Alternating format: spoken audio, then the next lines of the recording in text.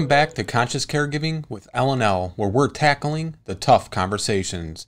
The topic this month is love, kindness, and seniors. Welcome everyone to Conscious Caregiving with L&L. I am your co-host Lance A. Slatton. I'm also the host of All Home Care Matters and the co-host of the Caregivers Journal with Denise Brown. Thank all of you for being here with us today to talk about an important issue and something that doesn't often get talked about, and that is love, kindness, and seniors. I would like to also welcome my esteemed co-host, Ms. Lori La Bey, the founder of Alzheimer's Speaks, the co-host of Conscious Caregiving with L&L, and the co-founder of Dementia Map. Thank you for being here today, Lori. Well, I am excited to be here. We have an amazing panel that I think is going to be really uplifting for everyone. So um, listen in and pass it along. Absolutely. I would like to take a moment, though, and have each of you introduce yourselves. We'll start with Stephen. Hi there. My name is Stephen Post, Stephen G. Post, and I live in Stony Brook on the north shore of Long Island. I'm a founding professor of the Center for Medical Humanities, Compassionate Care, and Bioethics at the Stony Brook University School of Medicine. And I've been working in the in the area of uh, deeply forgetful people for about 40 years, believe it or not. And uh, beginning with my grandmother as a as a fairly young guy, uh, and um, and I run the Institute for Research on Unlimited Love. It's incredible. Well, thank you so much for taking the time to be with us today, Stephen. Next, I'd like to go to Loretta. Hi, everyone. My name is Loretta Woodward Veney. I am an inspirational speaker and author and a certified Lego serious play facilitator. And for 16 years, I was my mom Doris's caregiver and she had dementia. So we tried to live every day with joy, and we did that well. Wonderful. Thank you for being here, Loretta.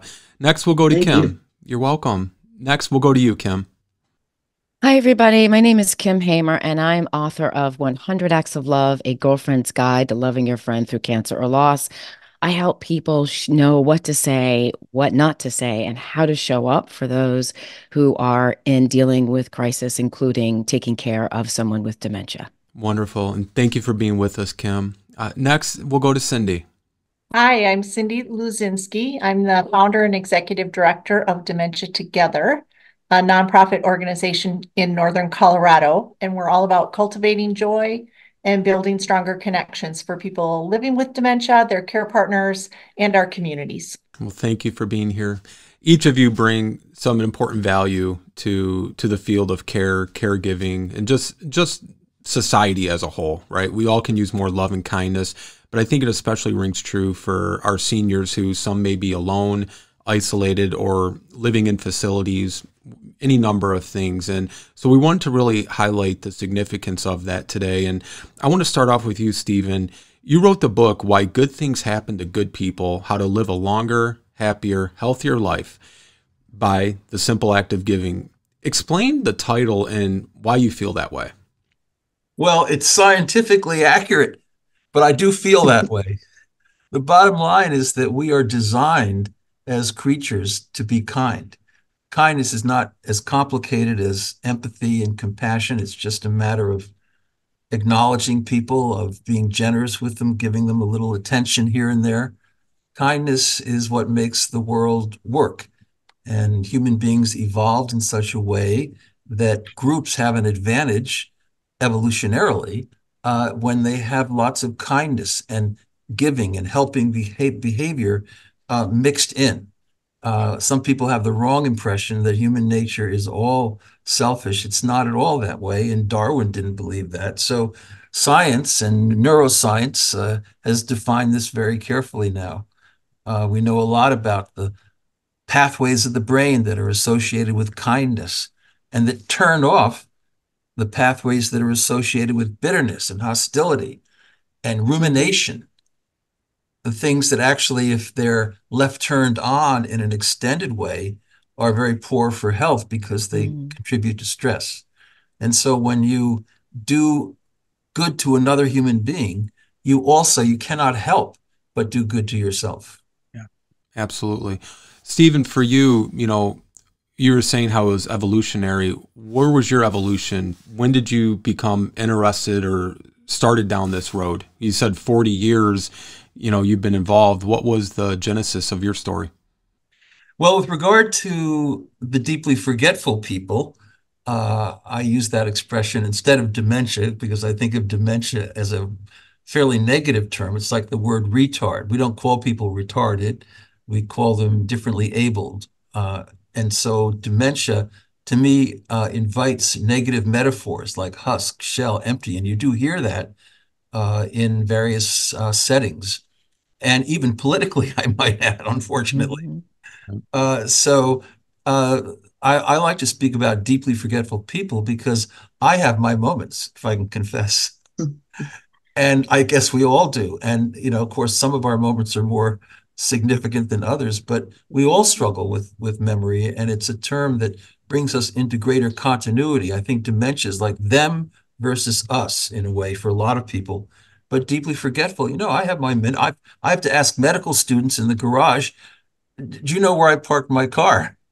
And then one day, I asked one of them, "Do you know if I drove to work today?" And that was a little more serious. But anyway, since I was a youngster, my grandmother um, uh, uh, had what they called senile dementia at the time, and I would just go to the nursing home uh, and uh, do assisted oral feeding with her uh, at the end of the day. And um, I realized that I could connect with her at very profound levels. And sometimes like, you have to be open to surprises. And in, in Dignity for Deeply Forgetful People, I define hope as being open to surprises, those moments of unexpected, surprising lucidity, where mm-hmm. somebody who seems to have been totally gone is somehow there.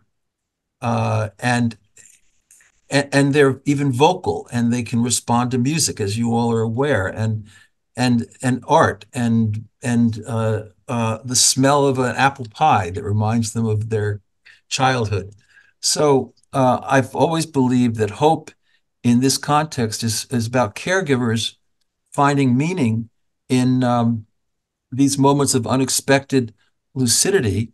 And I had that with my grandmother. So I would be sitting there, you know, with bran and juice and things. And very occasionally she would just look at me and I knew that she was really identifying me for as her grandson. And she would say something like, Stevie, pass the potatoes or whatever, you know.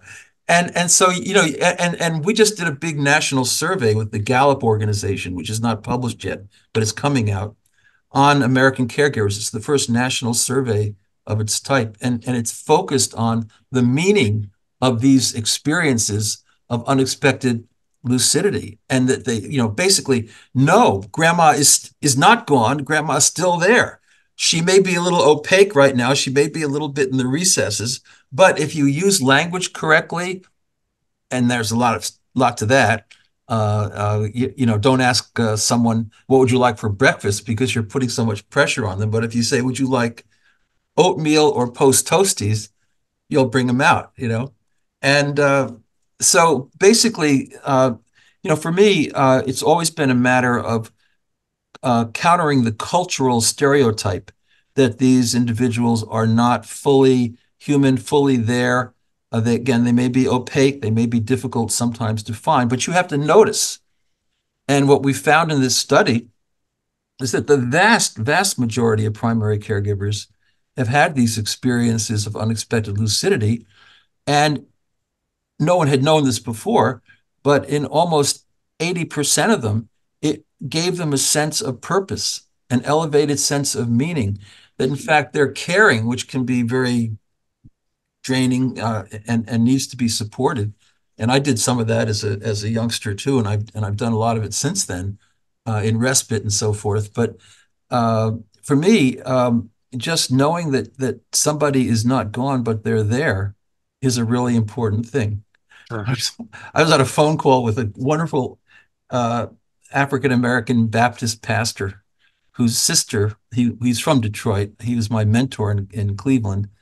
Um, she was uh, in the last throes of Alzheimer's in Detroit. And he called me on the phone and he uh, and he asked me, is, is my sister still here? And I said, well, Pastor, what do you think? And he said, well, I dare not say she's gone. And then he said, In fact, I have these moments where I think she's actually ahead of me. She's going down to the Amtrak station and she's got one foot on that blessed train for glory. Mm-hmm. If I told you his name, you would know him, but I can't do that. Um, so uh, that's the whole secret uh, to me is seeing seeing uh, the continuity of personal identity, even when everybody tells you because they're hypercognitive. That's a a word that I, I coined in, at Case Western, hypercognitive. They just think about value, human value, in terms of cognition and cognitive dexterity. But actually, that's how you got to um, the, the the nationalist socialists in Germany. I mean, these these individuals were were uh, the deeply forgetful were life unworthy of life. They were useless eaters, and in the T4 program, seventy thousand of them in 1939 were taken out of asylums, and they were brought out into the cold, and they were left to freeze in ice water, in snow, uh, and then they would be brought back into the asylums. This took place over a year and a half. They would be warmed up at different rates, at different temperatures, and so forth, sometimes in water, sometimes in hot air. Of course, they were all gone by that time. But this was what was going on. Why? They had one thing going against them. They were deeply forgetful. And, mm-hmm. and you know, that is still uh, something that uh, causes us to other, as the word goes, to other mm-hmm a lot of people. Uh, so that's that's how I got started, and I I never dropped that that interest in in bringing people into the human community fully. Yeah. Well, thank you, and that's a fascinating story, Stephen. I wanted to ask if you could also just uh, briefly give us some examples of how to be loving and kind to seniors, and also why it's important not just for them as the recipients, but us as the givers. Well, it absolutely is salvation for givers. You know, um, it's so easy to spin down into a kind of negative vortex of despair and frustration, and that's understandable because caregiving is a is a big job. Uh, but uh, on the other hand, if you can stick with kindness, you can have a much easier time of it. Uh, people with dementia, people who are deeply forgetful, respond as as I as I know everyone here is well aware. Uh, they respond to kindness and warmth, uh, and it's a beautiful thing. I was out in I was out in Mount Vernon, Ohio. I'm I'm in Ohio and in lots of ways, and uh, uh I went with Dr. Joe Foley, a famous old neurologist now deceased, to uh, a um, a hospital for the aged, and there was a wing of it devoted to people with uh, Down syndrome who had gotten into their 50s. So they were also struggling with probable Alzheimer's disease. That's called the dually diagnosed. And their behavior was quite difficult. But there were these wonderful Hindu nurses aides who had a little community out there in the middle of Ohio. And and and they were taking care of these folks. And Joe and I uh, Joe was the co-founder of the Alzheimer's Association nationally, incidentally. So Joe and I just looked at them and we observed them for a while. And then we asked several of them to come out to a pizza restaurant. There's only one restaurant in that part of Ohio. so we took these wonderful Hindus to a pizza place. And um, and we asked them why, why are you so conscientious? Why are you so diligent? Why are you so tender in your hearts? And they said, and this is a word everybody who listens to this will know, namaste, mm-hmm. which in the Hindu tradition means I honor the divine in you. Yeah. And so that's never gone. You know, I, I, I, I'm, I'm, I'm just a mainstream old Episcopalian, but you know, there's a passage I like. Nothing can separate us from the love of God, mm-hmm. not even deep forgetfulness. That's fascinating. When, um, when you look at the evolution of you know deeply forgetful people slash dementia where it's at today just as a side where are you happy with the progress you've seen over the years i'm not happy with the cultural progress i think it's still an uphill battle you know everybody who becomes a caregiver has to become an advocate i remember now we're going back 20 years and some i, bet loretta and, and kim may remember this the alzheimer's association had a uh, uh, had a meeting in Washington, D.C., uh, and it was for advocating uh, with congressmen and senators that they could give more money uh, uh, to care for caregivers for respite care. That's how I broke into this field in my Cleveland days. I just did respite care one day a week while I was at Case, and uh, and and so we we we went up in the evening with candles to their offices, and they said, you know, we really like your cause, but we can't support it. And the reason is because if we supported caregivers for the deeply forgetful, people didn't, I didn't use that word quite as much back then, but now I use it all the time. Uh, uh, we wouldn't have, uh, we wouldn't be able to do it for other groups. So, so we we can't just do this for you. That was their answer. Even though we had studies, we had done studies. Peter Whitehouse, myself, and others had actually done investigations showing that if you just give caregivers three hours a week on one day doing respite with respite, you know, it's not a lot of time. It's not a lot of effort. It's pretty brief. But if you just go in there and you're kind and you let them get off to the movies or get to the supermarket or just take a walk in the park, actually their their um, rate of unhappiness, there is a slight increased depression rate in, in caregivers taken globally, it goes right down to baseline. So that's what we should be doing. We should we should be providing respite. You know, talk about. I got to say something about justice.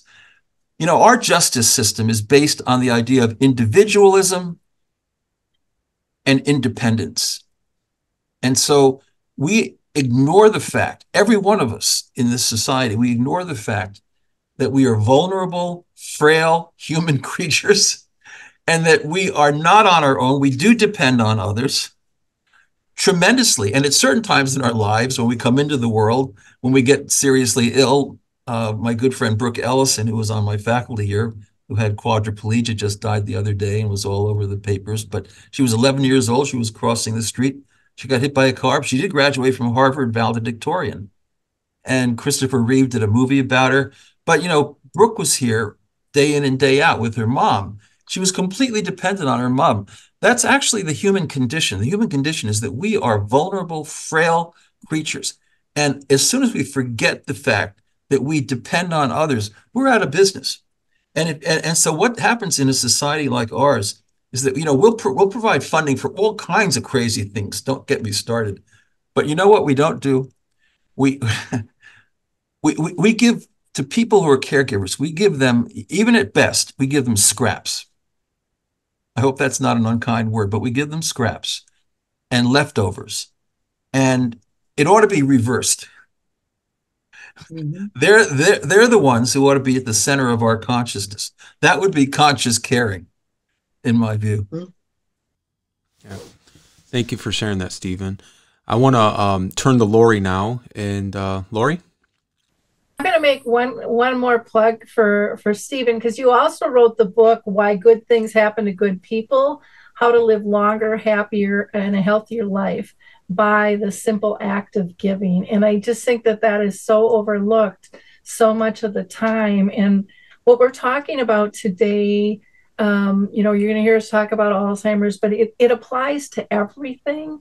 You know, this really is. It's our seniors, it's our kids, it's our partners, it's it's how we should live our lives and what we've gotten away from and it's really i think much easier to do than than we uh, than we think yeah. and and what we get back from it um, but loretta i want to go to you because you are such a powerhouse and um, talk about inspirational speaker she's just off the charts she just got back from london i mean the woman just is is on the go um, she she's our energizer bunny here.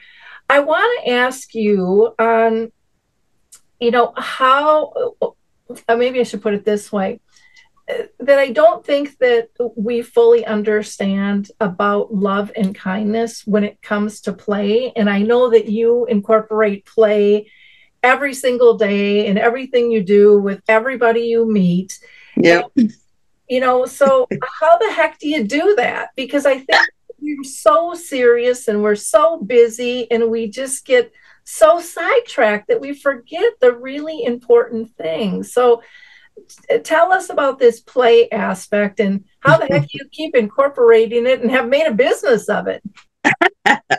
I know, right? Who thought this would be, you know, my life? So, ah, I tell you, well, you know, play was always really important in our family. So when I was five, my mother got me a box of Lego bricks and not the ones with the instructions to build a plane, train, automobile, you know, kind of thing. She today it's called a classic box. It's just a big mashup of colors and shapes and all that. And my mother wanted us to use our imagination. Simple as that. And so we started playing with the Lego at, you know, like I said, five ish.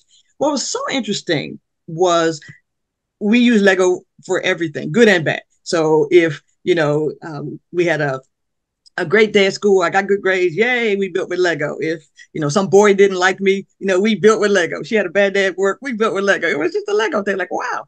And it just what I didn't realize was that it was sticking. And so one of the things that my mother always taught us was a being kind. When I gave her eulogy in 2022, I talked about the five lessons I learned from my mom. And the primary one was, you know, being kind to others. And um, a subset of that was when you find something that works, you share it with other people. So turns out that Lego thing, you know, just kind of took off. And what I realized was I'm a been a huge Lego fan my whole life. And in 2009 ish, I sort of discovered this thing that Lego was working on called Lego Serious Play. It, it's such an odd title for something that's so a whole lot of fun. And I wanted to take the course. It was supposed to, it was designed by Lego as a business tool to help organizations communicate and listen more effectively. And uh, they asked some uh, former employees of Lego or asked some employees to become former employees. And then they uh, reached out to some academicians throughout the UK to um, help them put together this, this tool that would help people be more successful. And what they found was that um, their mantra sort of was that um, Lego Serious Play, as it is today, ensures that everyone is included and that all voices are heard. I'm like, oh, ding, ding, ding. That meant people with dementia. It didn't say all voices except people with dementia. And so, what finally sort of precipitated my rush to become certified was in 2014. So, year almost eight of her disease, that's the year she forgot who I was.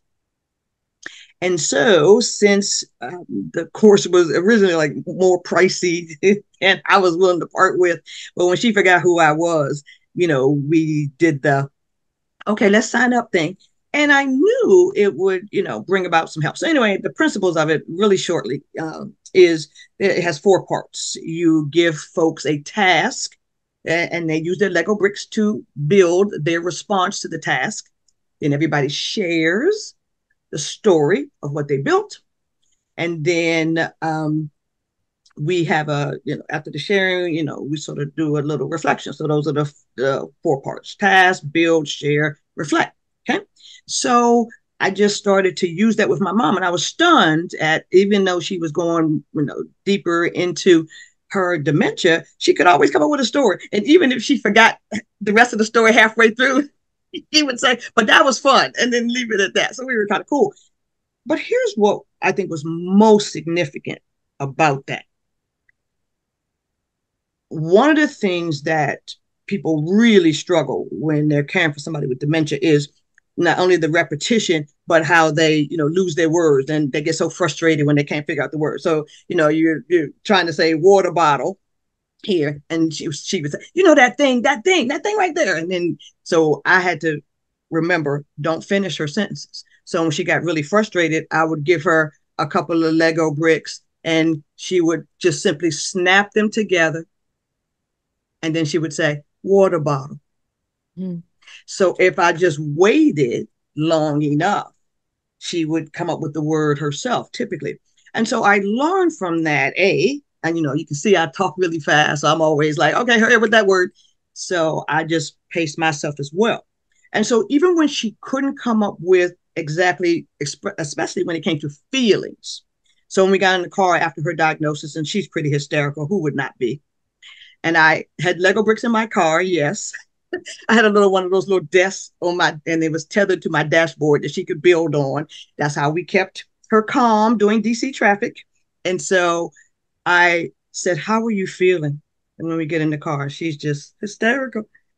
And she, I could see she was struggling with her words. And I asked her to build how she was feeling. And so she took her little Lego minifigure and little Lego people, and she popped the head off that thing and she held it up.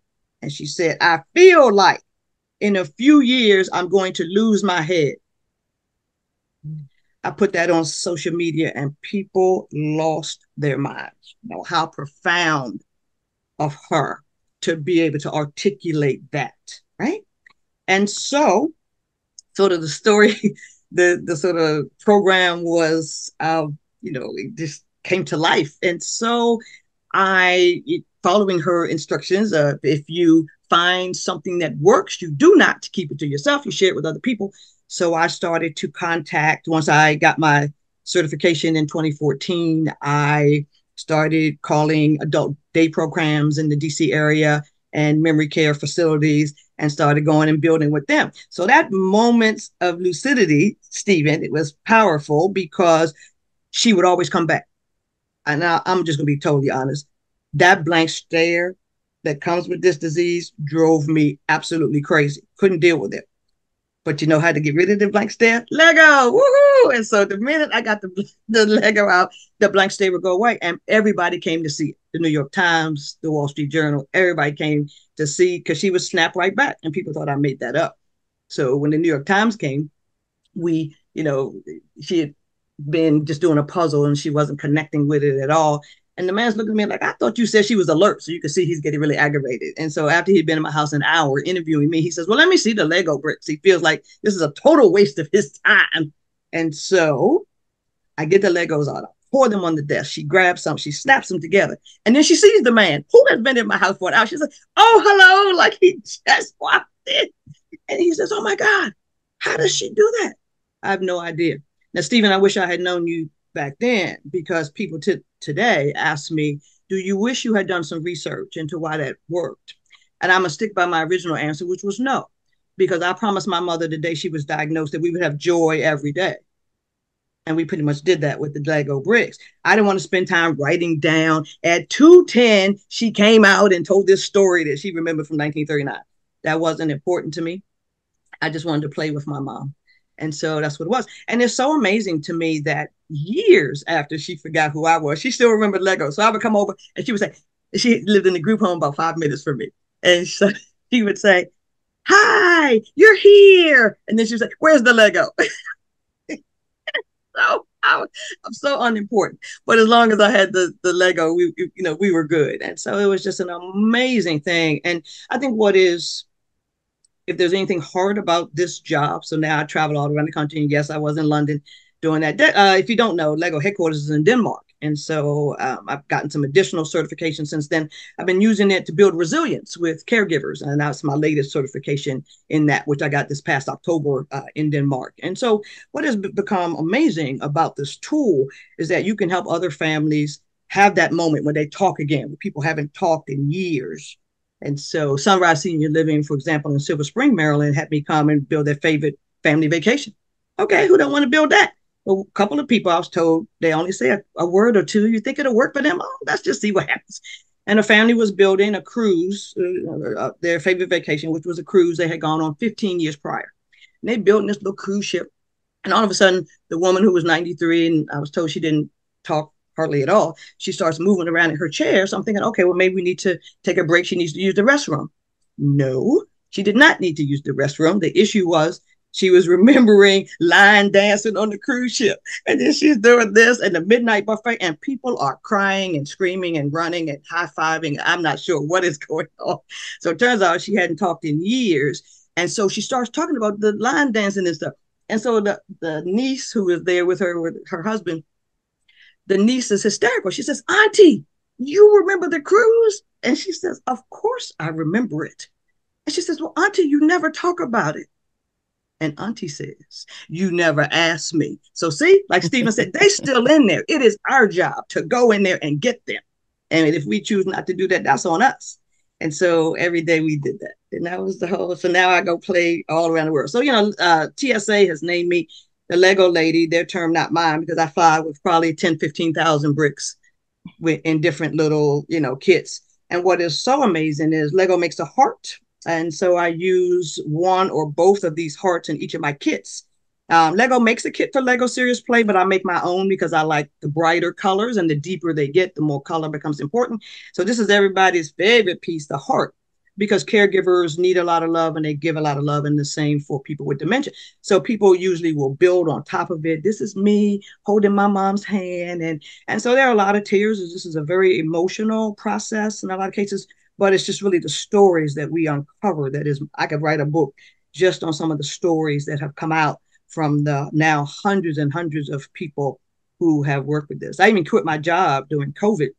I was a 40 year security professional. My last gig was at uh, Department of Homeland uh, Security and Immigration. And I quit my job during COVID because so many distraught caregivers were calling me every day once COVID hit and no adult day programs. Loretta, what am I supposed to do with mom and dad and grandpa all day? And so I spent five, six hours on the phone and finally realized um, I need to quit my job. So I did that. So here I am.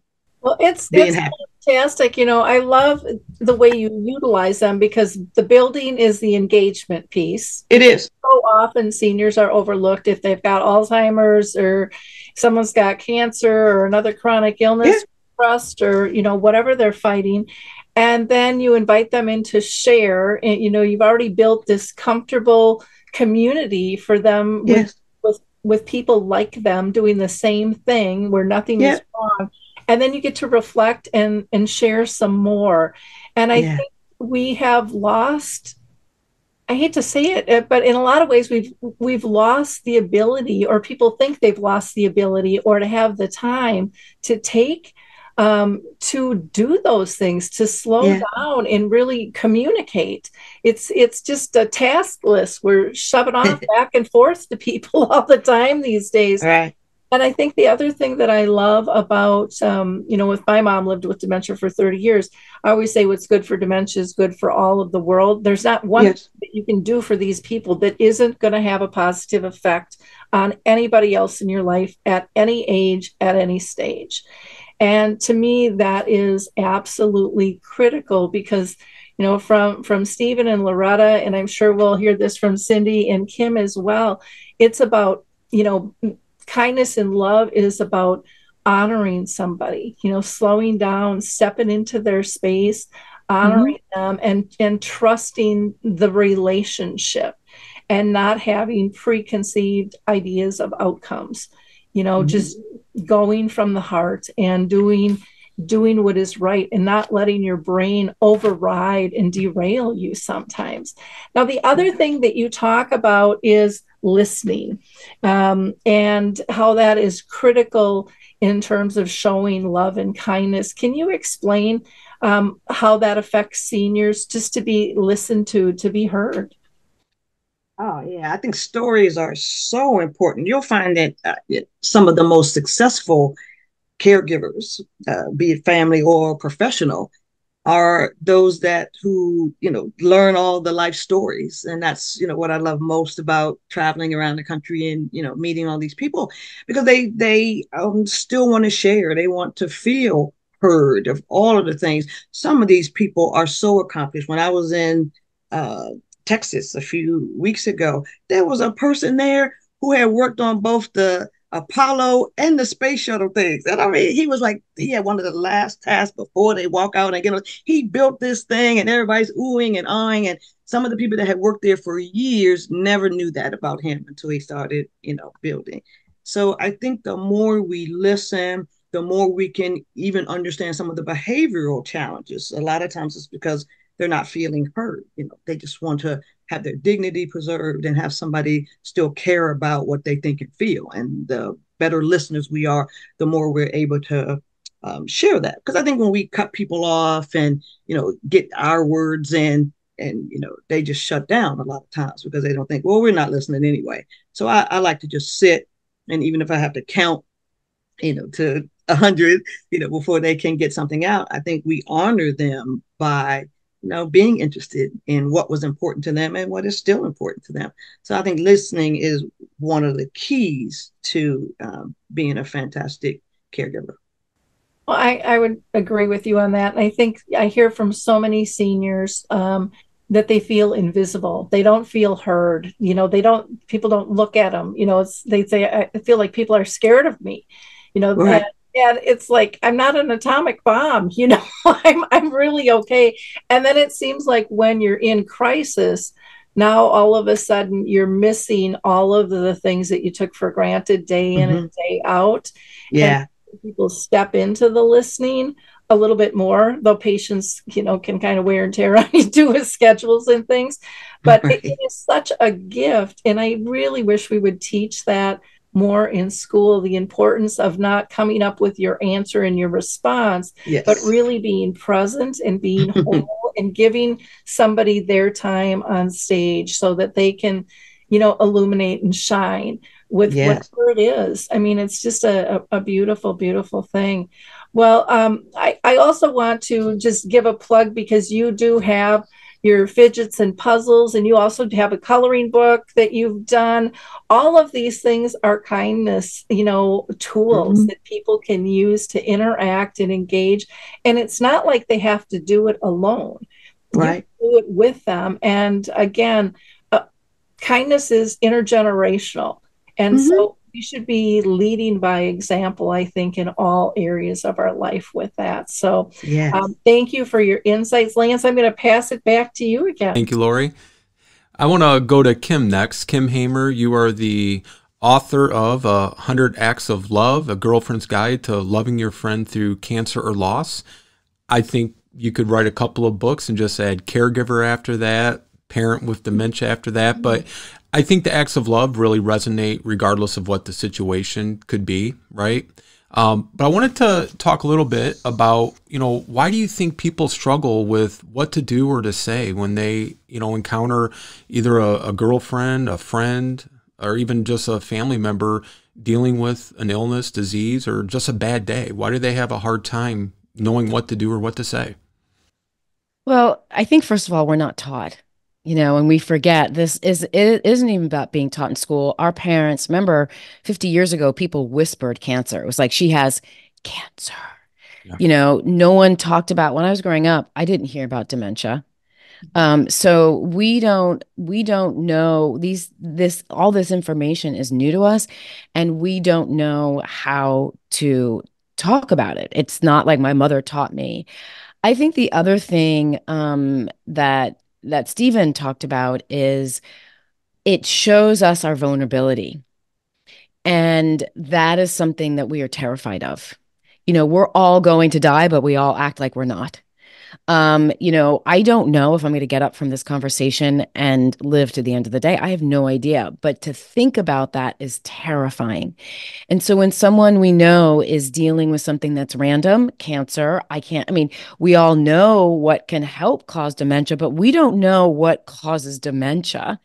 And so the idea that I might be, I might have dementia or that I might be taking care of someone with dementia, that's, that just shoves our vulnerability in our face.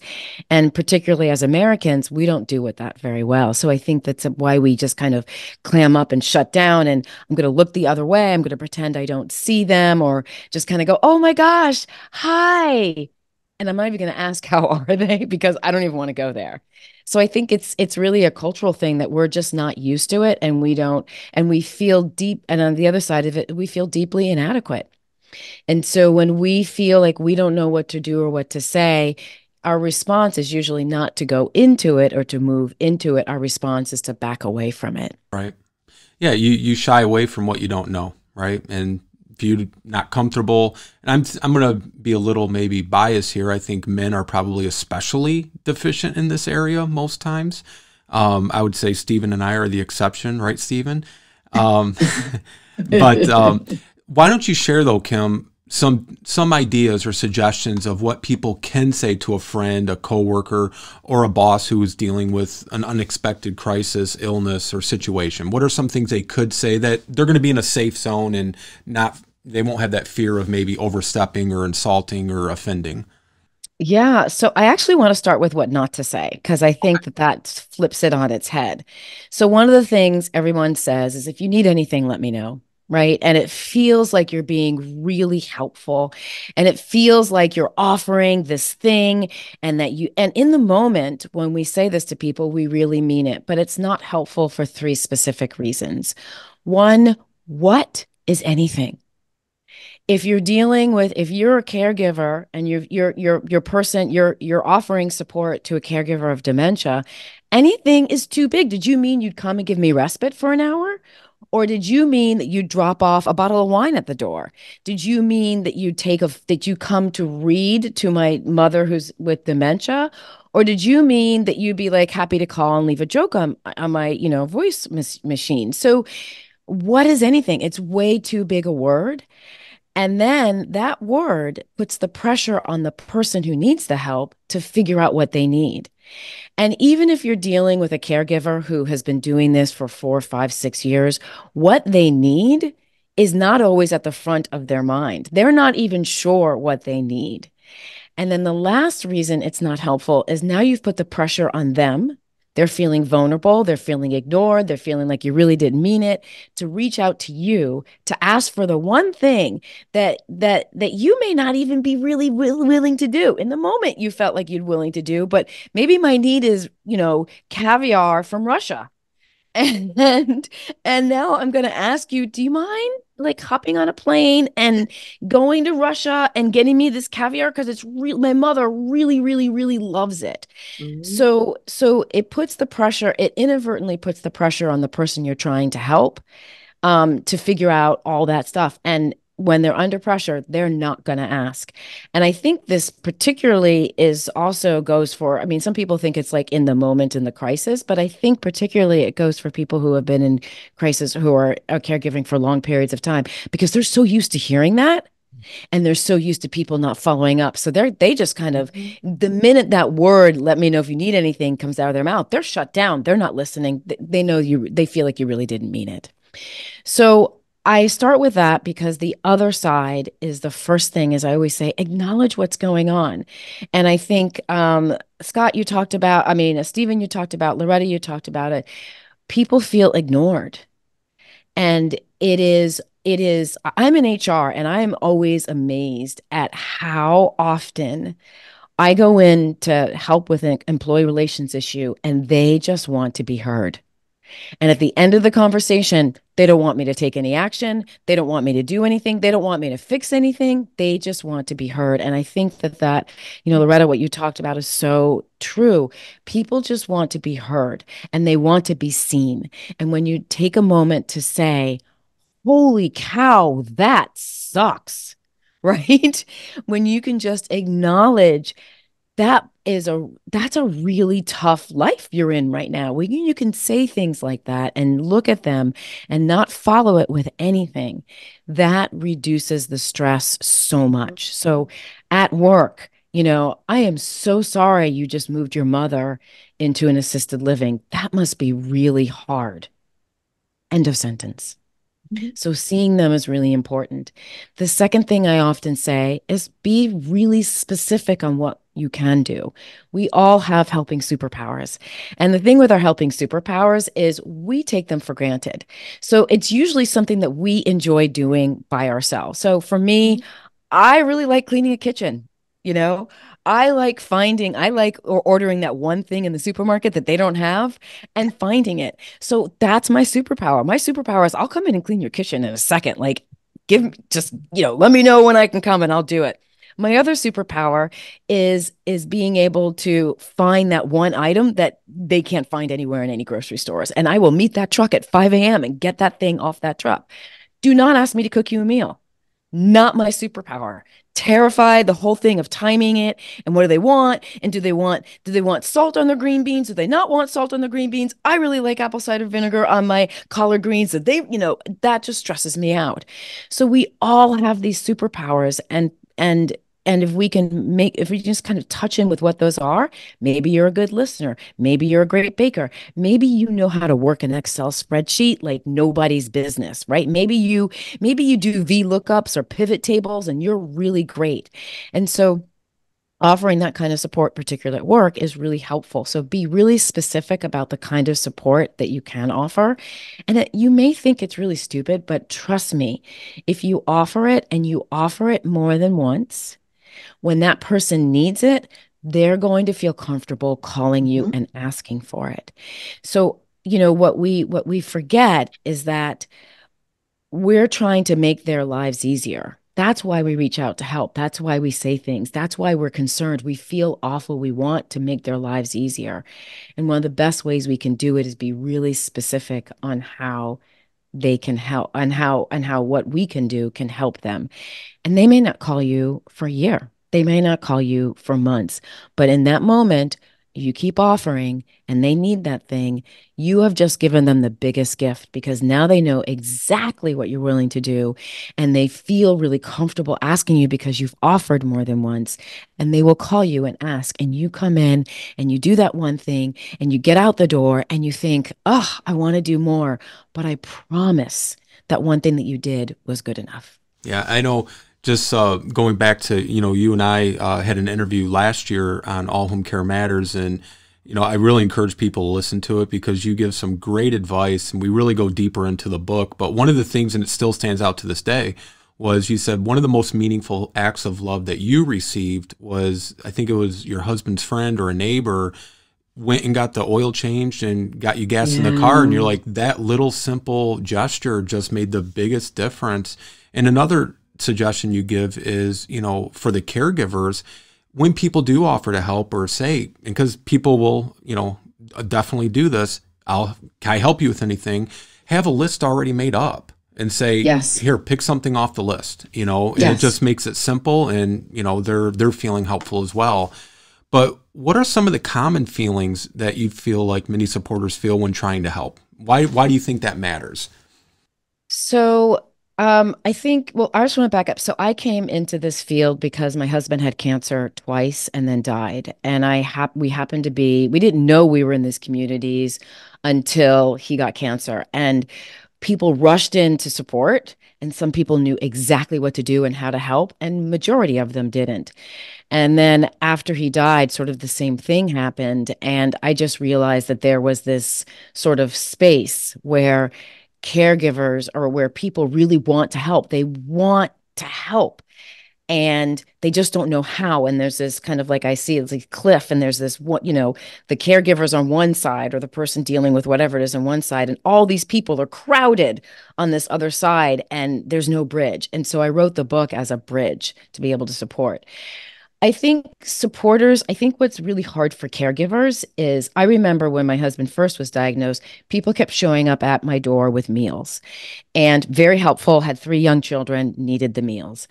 And I called my sister and I said, This needs to stop. I can't, I can't do it anymore. And she said, What are you talking about? And I said, It's just, it's just too much. And after we dive dove in deeper into the conversation, I was overwhelmed by the support and I was overwhelmed because when everyone shows up, it is here's a lasagna.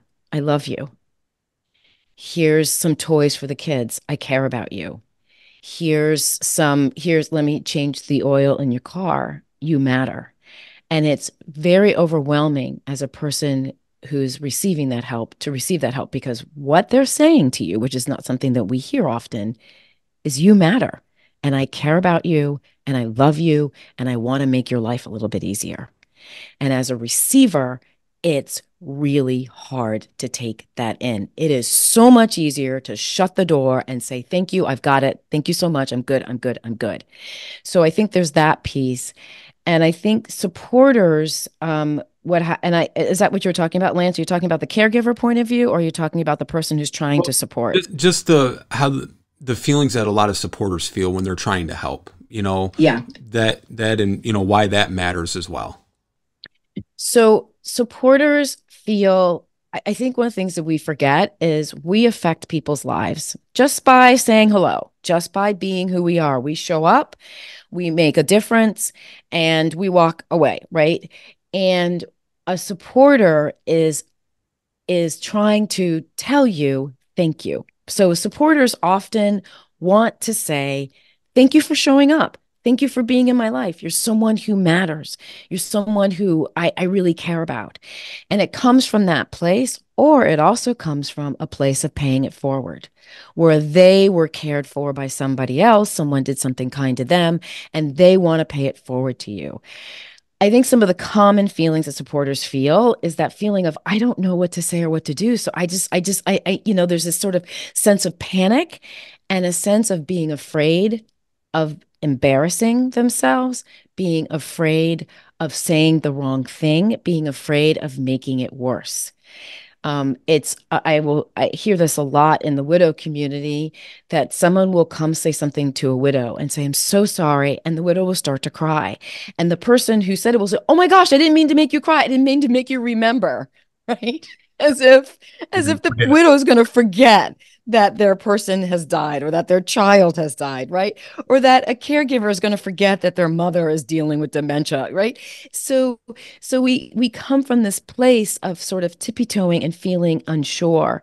Um, and I think, you know, it's it's normal for supporters to feel that, but what I really want to encourage supporters to do is to have the courage to just take an action. Because that action is so, and even if you get it wrong, even if you get it wrong, the fact that you took an action will talk, will will show the supporter, it will show the person that you care about that you really care, that you really matter, right? That you're trying. And I think that's the thing. Don't get stuck in the I don't know what to do, so I'm not going to do anything. Because when you do that, that is one of the most hurtful and most painful things you can do to a caregiver or to someone who's dealing with a really difficult time. Right. I want to um, kind of wrap up here real quickly and just ask you a couple more quick questions.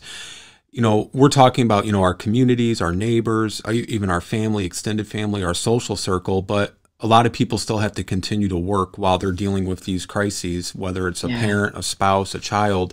So you have your work family too, which that can get a little awkward and uncomfortable, and you have HR regulations and things. How can we better offer support for caregivers who are in the workplace if it is a coworker? Well, I think there's two things. I mean, I think leaders need to have, I mean, if it's, I'm going to go with three different levels. HR needs to do more education. Um, they need to have a backup plan. They need to have some type of plan helping leaders and coworkers manage this. And if a coworker is coming forward and saying, my just put my mother just got diagnosed with dementia. We've been told we've got to make all these rules. I don't know what I'm doing. They are providing that information in the workplace and the workplace can help support with that. And I'm not talking about putting in different programs and making sure everything's fair so whenever someone in the company has, you know, has a situation that it's it is really simply educating your leaders on what to say and how to show up. A leader can say to someone if they're having if this person seems off that day, "Hey, I'm noticing that your work is not up to par. Let's have a conversation about what we need to take off your plate for the minute, for the time being, right? And like I said, even just having that conversation, that person may say, you know what, I'm actually good. They may feel more seen and connected that they can put that that time and energy back into doing their job. Or they may need the break.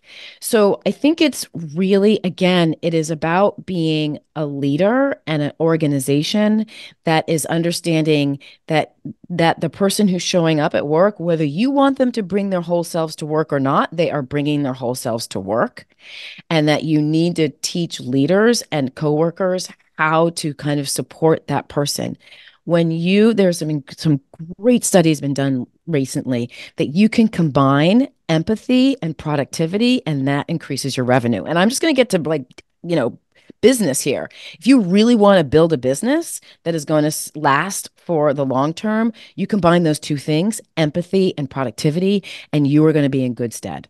So I think again, it's um it's taking the time to slow down and to do simple things that that allow the whole organization, the whole team to gather around and support an employee dealing with this difficulty because that in in the long term helps not just the employee it helps the the whole team function as human beings and it helps the organization do better. Wonderful. That was that's yeah. great kim. Great. And uh, appreciate you you know adding your voice and you know expertise to this issue um, last thing for you though if you had one message that you wanted listeners and viewers mm-hmm. to really get from this show today what's the one big lesson you want them all to know that you matter that's great. And I think that we forget as we go in our day to day lives, interacting with people, that how much we matter to other people. Right. And you showing up really makes a difference. It'll make a difference for them, but it'll also make a difference for you. Wonderful. Well, Kim, thank you so much. We appreciate you being here and all the work you're doing. Um, Lori, I'd like to go back to you. Oh my gosh, um, Kim, what great information. You had me in tears almost a couple of times. I was holding back with your passion coming through. Um, I love that you wrapped up with You Matter.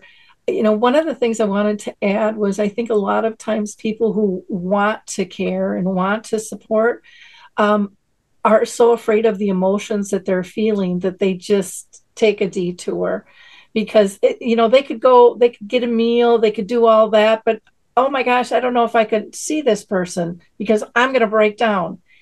And and I think a lot of times they're not even thinking what that impact's going to have on the person they want to care for. They just personally can't deal with those emotions.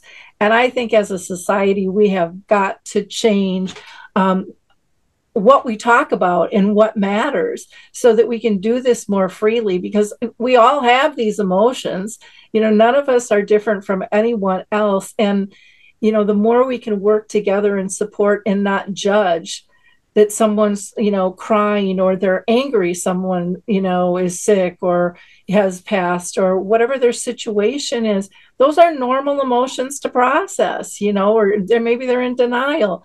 Um, I, I think that's very very key. And i also really appreciated when you said about work you know what can we take off your plate?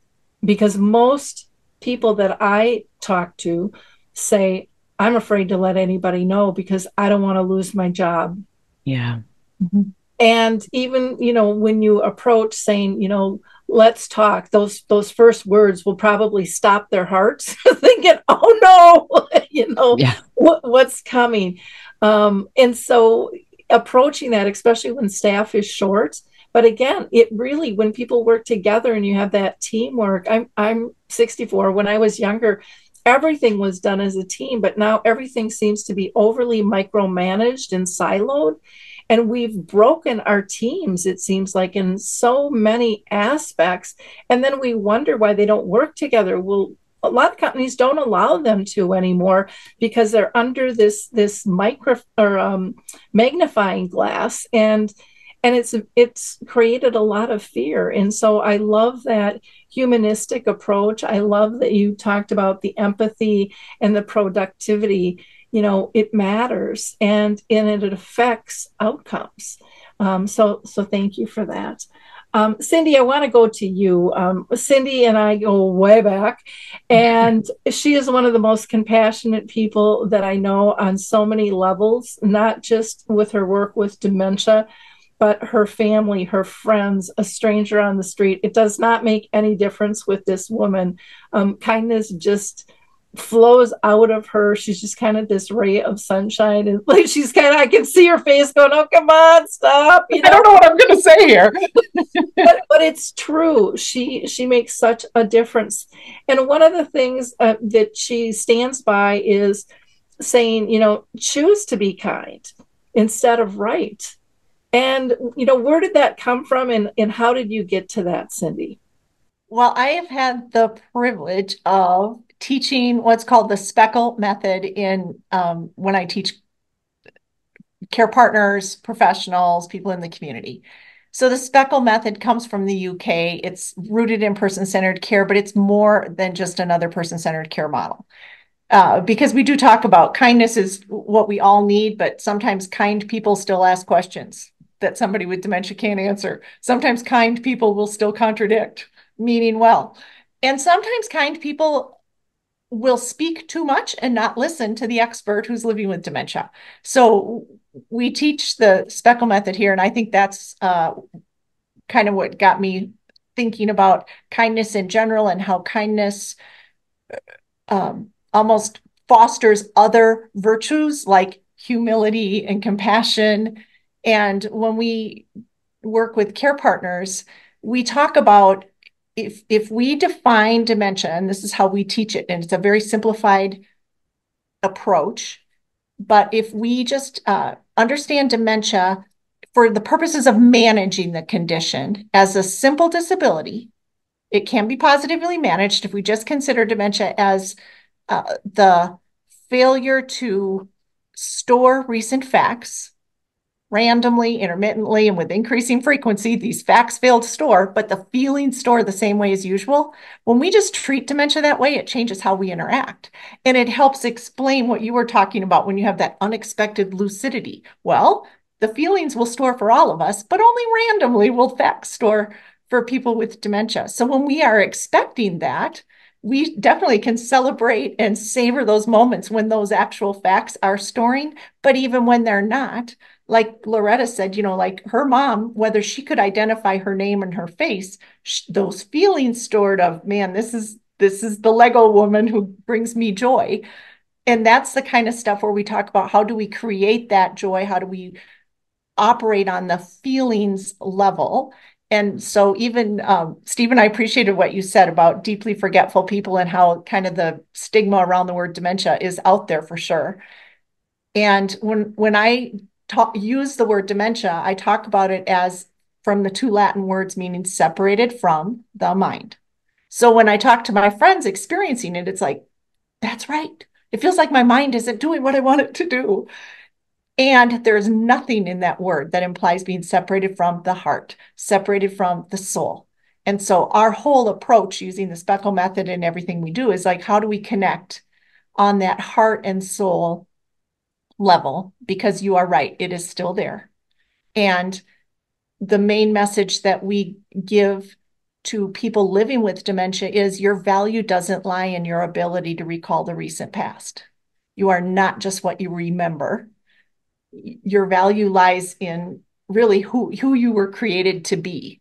And like, you know, Stephen, you said nothing will separate us from the love of God. And we talk about that, that you are who you were created to be by your creator or whoever your your god is. And we definitely um, follow that.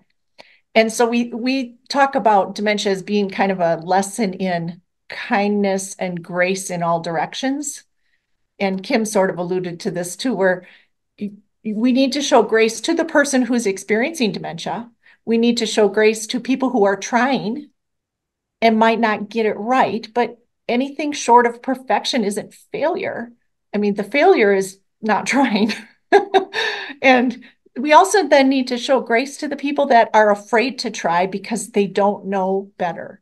Um, we had a couple, um, Rodney and Ginny, who went to a hockey game recently. We have a local hockey t- team, and they gave us tickets. Um, and Ginny, with living with dementia, had trouble figuring out the seat and how to sit down. And people behind her started laughing, thinking she was drunk and couldn't figure out how to sit down. And all Rodney had to do was say, "Oh yeah, we're we're living with Alzheimer's." And it's kind of like what you talked about like people want to do better. They want to help. And so to give out those little cards that say, "Here's how you can help." We have a bunch of them that we're like give them out like candy to anybody you know. But as soon as they found out that Ginny had Alzheimer's, they became Rodney and Ginny's best friends and they were looking out for her. And and if she started to walk away, they'd, you know, tap his shoulder Rodney, you know, pay attention. and, and he's a very good care partner. Um, so I do think people want to help, they want to be kind, and we have to show them grace when they are at least trying and may may not get it right. And then I I think working with care partners, the hardest direction to show grace is toward ourselves. because there's so many times we don't get it right as care partners. There's so many times we don't get it right in other areas of our lives. And so that those voices of condemnation, I think, are our worst enemies. And so really a big question is, you know, is our kindness big enough and is our compassion deep enough that it will even extend to ourselves? And so when I get to, you know, teach about compassion fatigue for care partners, we talk about, you know, how do you balance the maybe not it's more integrating the experiences of grief and joy at the same time. You don't have to get through the grief. You have to just integrate it and live with it and realize that grief is part of the journey. And so is joy and helping people that helps them i think cope with the whole idea of compassion fatigue um, and also just real practical steps we talk about are not just uh, like using a gratitude journal. That's great. And we do need to absolutely pay attention to what we have to be grateful for every day. But there's more benefit even when you can identify what did I do today that made a situation better? What was my part in it? Because for professionals, that gives them a reason to come back to work the next day. If they can identify one situation that was um, better because they showed kindness, maybe even if they didn't feel like it, but they did it.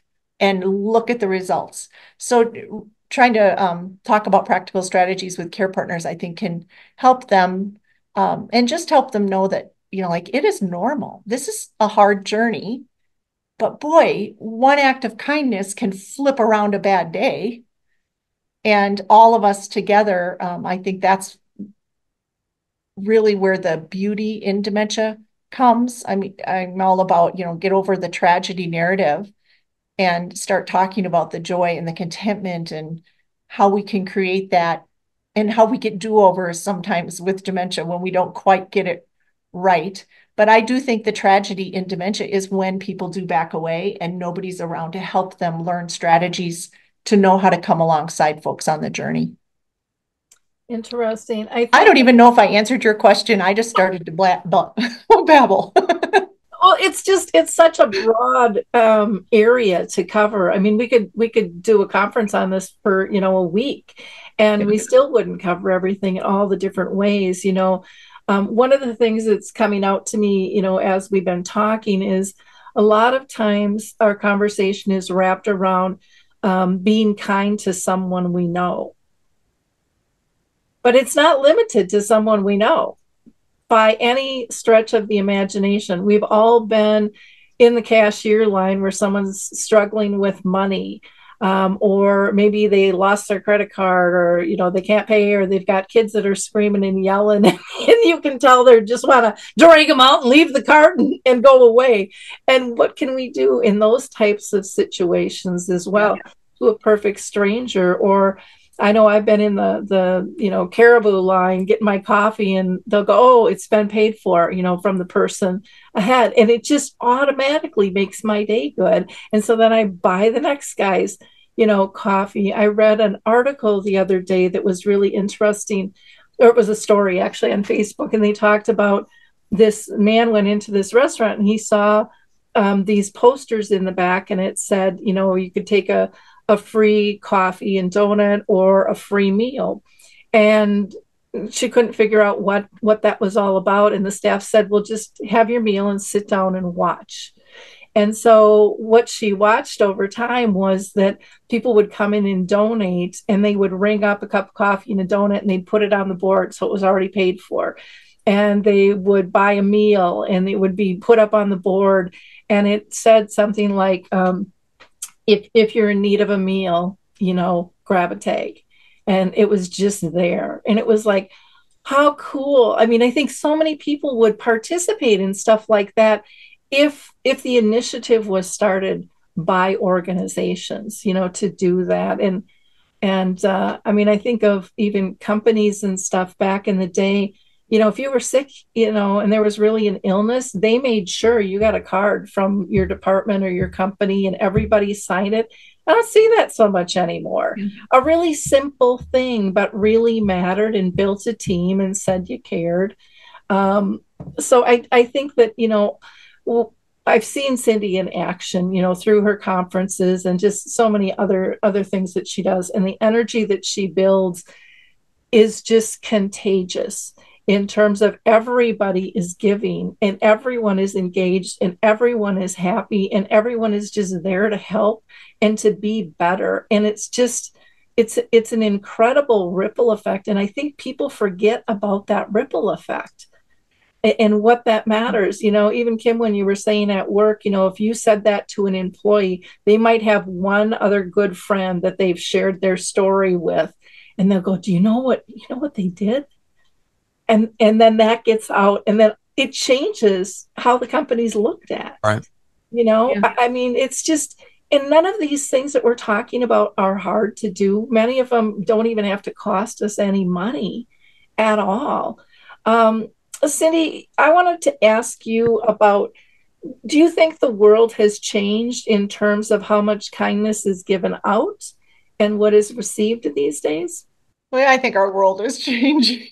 yes. Um, I think the research is so interesting about being kind and how it really benefits the person giving it, it benefits the person receiving it, and it benefits people who watch it, which that is amazing to me that that is the ripple effect that you're that you're talking about.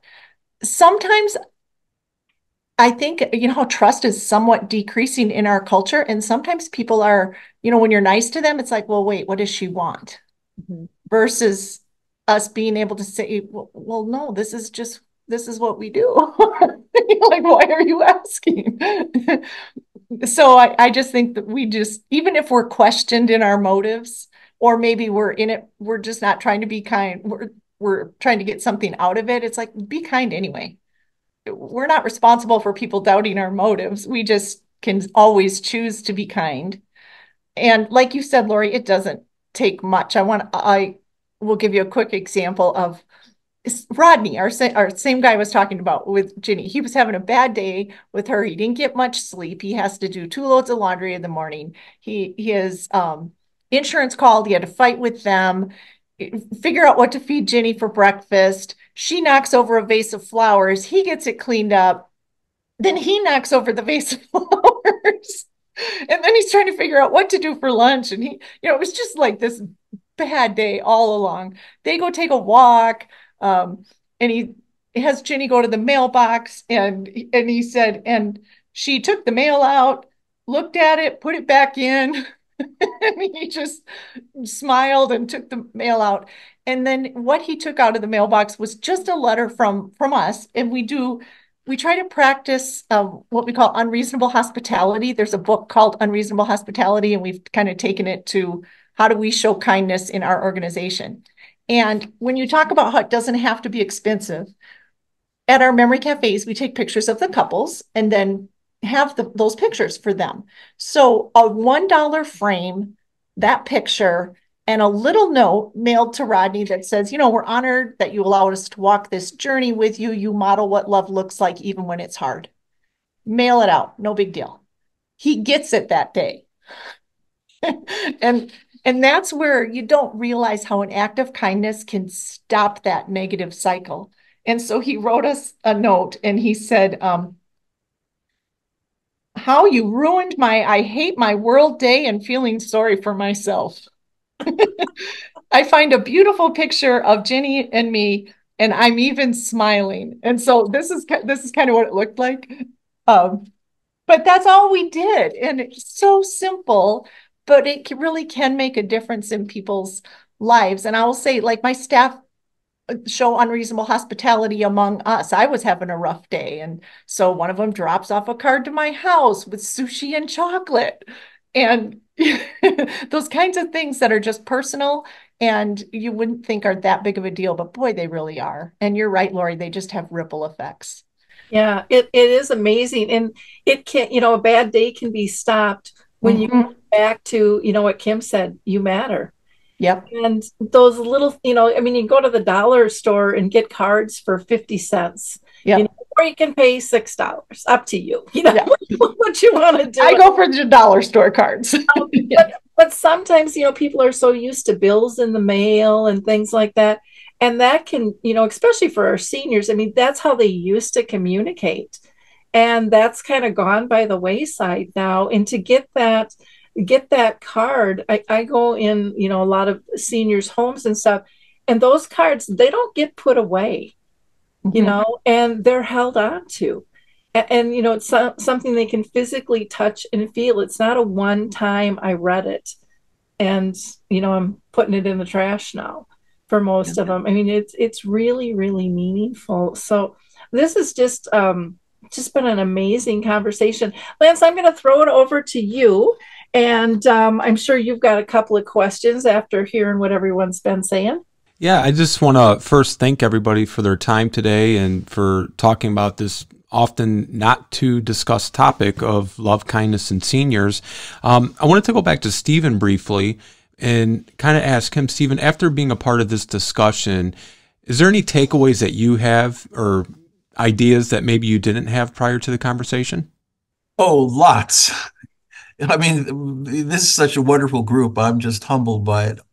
And, you know, um, Loretta, is, so what I took from you is the importance of sim, symbolic life Mm-hmm. You know, philosophers say we live in symbols and symbols live in us. Now, mm-hmm. someone their their their linear rationality, the linear rationality gets them from point A to point B and yeah. carry out tasks A and C. That may be pretty gone, but they can still connect with a Lego, or they can still connect with an article of clothing that that captures their identity Yes. You know, w- whether they were an artist or a musician. So symbolic rationality never goes. Yeah. And I found, I think you found too, sounds like, you know, you go deep into the progression of deep forgetfulness and people can be still reached symbolically. If you use mm-hmm. symbols thoughtfully and carefully, you can make a lot of uh, gains with that. Yes. So that's what I picked up from Loretta, who's beautiful. Thank you. Yeah, you are. And and from Kim, I mean, you know, I I I, I thought I really liked, you know, I've been I've been studying how when you give kindly, I mean, that's the emphasis, you know, it's not just the benefits of giving. That's not really quite true. You have mm-hmm. to give with kindness, with a heart of kindness, and it doesn't have to be a lot. But if kindness is involved, you're going to benefit but also I think that people who watch that, I think that's a beautiful point, you know, that see that palpably expressed, mm-hmm. you know, they also are uplifted. And I think that's so, so important in, in, in our lives. And, and Cindy, you know, you were, you were just unbelievable. You know, I, I, I mean, I wish I, I wish I was your next door neighbor. but beautiful work and and I, i'm so inspired by all of you you know my dad said you can give without loving but you can't love without giving that's true and i don't yeah. think that yeah. was original to him but he said it i'll give yeah. him credit yeah well and he and you know he was kind of the mastermind behind you getting into this space with him getting mm. yeah you know it seems like everyone here has had um, a special moment you know with Loretta with your mom, Kim with your husband, uh, Stephen with your grandma, um, me with my mom, you know, Lance with your dad. I mean, it's it makes you look at life differently, and you have you choices. You can you can struggle through it and walk away and forget about it, or you can learn the lessons that that tough, you know, piece of life taught you, and then get back to you know what Loretta said you learn it, it works, you share it. Yeah. Stepping mm-hmm. and it doesn't, especially nowadays on social media, it's really easy to share. And we need to encourage more of that, not share. So, oh, I've got numbers, you know, and I have so many likes, and not for those mm-hmm. reasons, but share because you care right. and you want to make someone's life better. Yeah. And, you know, if we can you know, if we can march out today and get the world to step into that, I mean, big things can happen quickly. Um, mm-hmm. And you feel everybody matters. Um, Loretta, how about you? I loved Lance's question about what did what did you draw out of this today? Ah, I thought that was great too. I'm gonna be saying deeply forgetful people forever now. I think Kim said that too. Let's let's all write that down. So yeah, oh man, I think that was fascinating. And you know, I so Kim and I have so much in common. My daughter's name is Kim, but you know, I too am a widow, and it's interesting. Um, and what was scary about my husband dying was that he did everything for my mother. I was still working. He was a retired DC cop, so he would, you know, take my mom to the doctor. I would meet them there and do the doctor's appointment. I would run back to work. They would go to the mall and go all these places. And so it was so amazing trying to, yeah. So, but as Kim said, when he died, you know, my church support group, who has their own support group. So we were in New York when he died. And so, you know, by the time I got back to DC, they had made this whole committee for me. But they asked me to write down everything Tim did for my mother, and each one of them took a thing. Wow. And so I did, and and Kim, I kind of flipped that when I'm working with caregivers to say, um, you know, ask about asking for help you know, the same thing you said, not like, if you need anything, you know, I tell caregivers, ask specifically what you need and want. Can you take dad to the barbershop on Tuesday at two? That's a yes or no question. And so, you know, that whole, oh, let me know if you need anything. And then when you don't hear anything, it's, oh, she, Kim must be doing good. She hadn't called. But it's the same. So, so I do it in reverse, but I was fascinated by how close, you know, that was. And Cindy, I send the card. Still got a whole stack over here. What you know, when people send me something, I have it in my little joy folder. I call it. So when I I have a stack too that I mail out if somebody you know made my day or something like that, and that's a lot of fun. So when I get a card, I send the card, and so I, I think I really I love the picture frame. Um, I did, and I try to do that if if family members can't come to the Lego event I take pictures or my GoPro camera and I send it to, you know, the family members who couldn't come. And they say, My dad built that. Yes, maybe you should build some things with him sometime. Oh, I didn't know he could do that. Mm-hmm. so just get yes. And you just get them out. So I, I thought this was fabulous because I think you know, regardless of what our own experiences are, you can always learn from each other. So this has been absolutely fabulous. Thank you. Thank you. Kim, how about you? Was there anything you took away from the group? Um, hope. I just have to say, listening to everyone share about what they're doing and how they're making an impact. Um, I want to go work at, I want to do the Lego series thing now. And, um, you know, Stephen, I actually grew up in Westport, which is Oh. across from where you are, sort of, right? Oh my? God. And I want to come out and like I want to follow you around for a day and just Sure. learn what you're doing. And Cindy, I think you and I are very much along this exact same um, you know, line. So I think I feel just hopeful and that, Yeah. that feels really good. And I hope that people are listening feel hopeful because I think, you know, we're all doing our own thing and we're not in the spotlight and we're not getting the front page of the New York Times, but I have to I have to remind myself that that you know there are people behind the scenes who are doing things every single day that are making people's mm-hmm. lives better mm-hmm. um, and and i need to trust in those people to, to to do their thing and to do it well and i will do my thing and do it well and so i Yeah. just feel very hopeful thank you Right. Cindy, how about you? Yeah, that's that's so good. I it doesn't matter if people are seeing what we're doing. I think we just mm-hmm. we know and our lives are richer as a result. So Yeah. I I listen to all of you and I just think, well, there's just no downside to being kind and loving other people. So Yeah. we just can love one another, be kind to one another, do a lot of one anothering, and our world Yeah. will be better. I I agree, and you know, kindness is not limited by age, you know, by status, by culture, by neighborhood. You know, it can be done anywhere, anytime, by anybody, and it can be received anytime, anywhere, by anyone too. And it's it's one of the simplest things in life, and yet it's sad that it's gotten so overlooked in this fast-paced Mhm. that we live in. And so the more we talk about it, the more we give examples of different ways to do that, um, you know, that ripple, you know, will just keep growing and really turn into this huge big wave that, you know, crushes through society and says, this is the way we need to live. You Right. know, we are a tribe. Um, that's the bottom line. We are we are one, and Mhm. um, it- we all matter no matter what situation we're going through. But our, our seniors, I think in particular are sometimes really overlooked. Mm-hmm. And, you know, they don't have to be ill to be overlooked. They don't have to have dementia. They don't have to, you know, um, be receiving home care or whatever. You know, they can be out in the community and still not have communication mm-hmm. with people. I, I talked with, I can't remember who it was the other day. I talked with someone and they said they met a stranger that was having a tough day and they, they sat down and talked to him and they found out, and this, this man left his house every single day, but he had not talked to a soul in a week. Mm. Wow. I mean, think about that. To walk around in the world and feel not seen or heard. Wow you know, just to say hi to somebody is an act of kindness. Yes. To give eye contact is an act of kindness. It's important. It's important, people.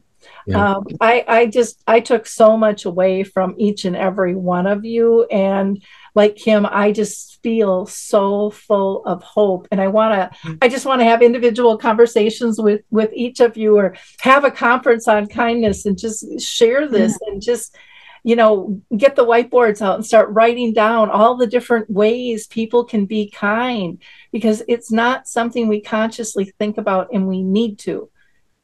Each of us has felt down and out, and it would be nice to have someone go, Gosh, you're doing a good job, or um, I'm sorry you're having a hard day. You know, I, I, know you like this, or let's go to a movie, or go for a walk, or whatever it is. Play Legos. It doesn't make any difference. I'll take you to church. How about the grocery store?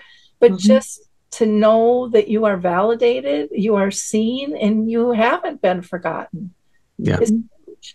Uh, for for every individual, but I think especially for our seniors. So, yeah. Lance, how about you? What what did you take away from today? that it doesn't cost anything to be kind. Mm-hmm. Ah. Yep. Well, why don't you go ahead and wrap up our show? I think unless anybody has any any other comments that they would like to make, Stephen, it looks like you're well, leading. Well, I would just like to echo what everyone said, but Lori in particular. You know, um, I mean, I'm in a medical school, and and part of our job is to teach medical students the techniques of empathy and mm-hmm. the techniques of compassion and active mm-hmm. helping. And, you know, on the one hand, it's just kind of a given, but there's a lot of training and you have to learn how to reflect back. Did I get you right? And so forth. You know, the, the, the, the routine. But kindness is just kindness. You know, yeah. just just acknowledge somebody, just hold the door for them, just ask them how's the kids. It's that simple. That's all I can say. Mm-hmm. Very true. I, I do have one thing to say. I think that we forget sometimes that it takes courage. Yeah. You know, it's it's it it is really simple to be kind, but it also takes courage. It takes a moment yeah. for us to take a risk, to reach out first, to not know how this person yeah. is going to respond. So I think I I would like us to see I would like us to be all a little bit braver. Yeah. Great point. I think that's such a good point, especially in that a culture is. where trust is declining. Mm-hmm yeah, yes. it does take that moment of courage to say, well, I'm going to do it regardless of whether they trust yeah. that I have good intentions or not. Yeah, that's a good point. Well, awesome. Yeah. It's interesting. And I think I might have shared this story on one of our shows before, but I'll share it again that shows the importance of not giving up on somebody and reaching out.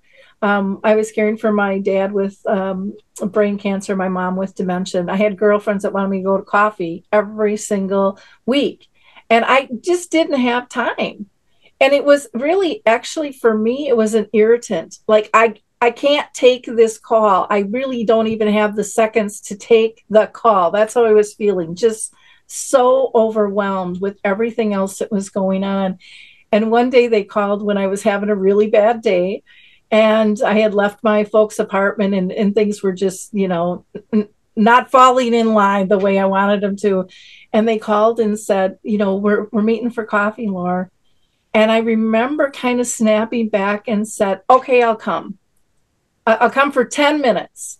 Like I was the queen and I'm going to give you my time out the red carpet. Here I come. And my whole intent was to get them off my back. Mm-hmm. When I said yes, it was to get them off my back because I couldn't receive the kindness. And I got there and I stayed two hours and we laughed and we cried. I'm going to get emotional right now thinking about it. But they didn't give up on me. And I Mhm. went every week after that. And I Oh. know I was so empty.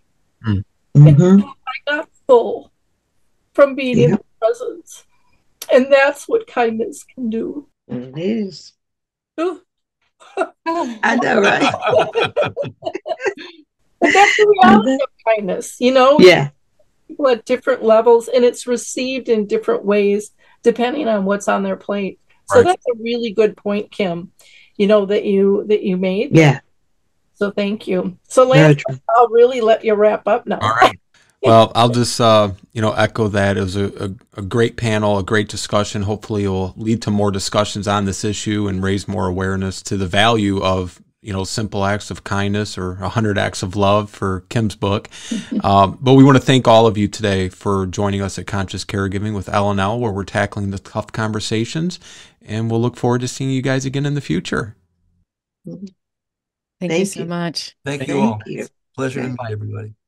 Thank you. Thank you for joining us here at Conscious Caregiving with L&L, where we're tackling the tough conversations. We look forward to seeing you next month.